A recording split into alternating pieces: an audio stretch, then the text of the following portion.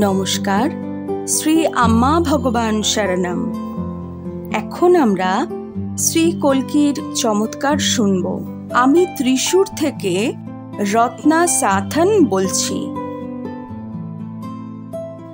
আমাদের জীবনে শ্রী কলকি আম্মা ভগবান যে জীবন রক্ষাকারী অদ্ভুত চমৎকার ঘটিয়েছেন, সে ঘটনা আপনাদের সকলের সঙ্গে ভাগ করে নেব।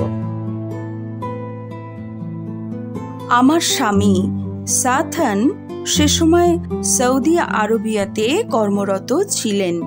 হঠাৎ বুকের তীব্র ব্যথা অনুভব করায় তাকে তৎক্ষণাৎ সেখানকার হাসপাতালে ভর্তি করা হয়।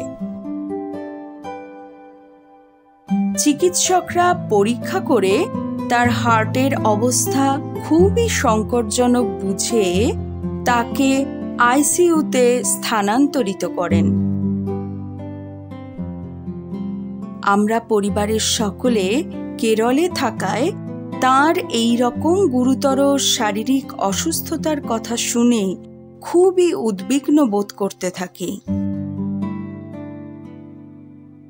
আমি বৈদেশ্বর শ্রী কলকি আম্মা ভগবানের কাছে আকুল প্রার্থনা করতে থাকি যেন আমার স্বামীর শারীরিক পরিস্থিতি স্থিতিশীল হয় এবং তিনি হাসপাতাল থেকে ছাড়া পেয়ে নিরাপদে কেরলে এসে পৌঁছতে পারেন। কিন্তু সৌদি আরবিয়ার চিকিৎসকরা তাকে হাসপাতাল থেকে ছাড়তে একেবারেই রাজি ছিলেন না।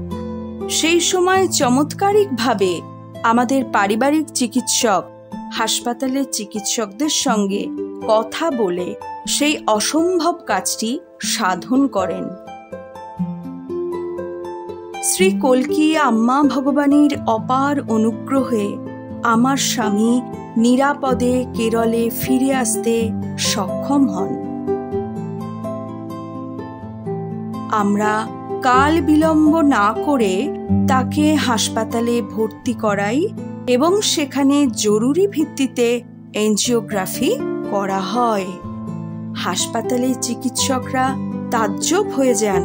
সৌদি আরবিয়াতে এত গুরুতর হার্টের সমস্যায় আক্রান্ত রোগীর এই রকম সুস্থ, স্বাভাবিক এনজিওগ্রাফির রিপোর্ট আসায়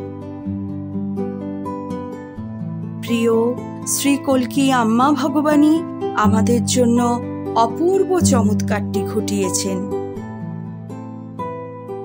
এখন আমার স্বামীকে সামান্য কিছু ওষুধ খেতে হচ্ছে এবং শারীরিকভাবে তিনি একদম সুস্থ আছেন।